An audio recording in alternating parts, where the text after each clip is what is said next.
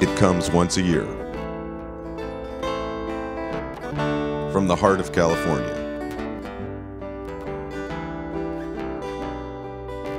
All natural and free range. Exactly the way nature intended. This is Hearst Ranch grass fed beef, the authentic flavor of the American West.